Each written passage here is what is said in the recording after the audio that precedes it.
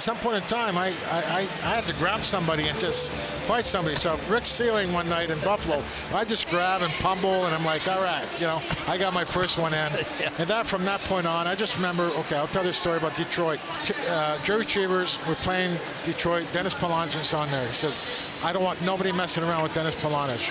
And fine, leave him on the ice. He only helps us, right? And he was a tough guy, short little guy, but stocky as, you know.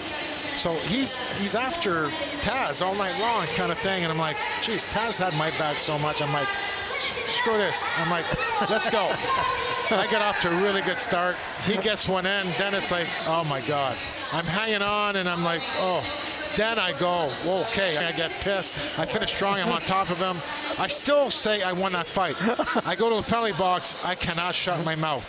I broke my jaw, I was out for six weeks, and I was talking like this for six weeks.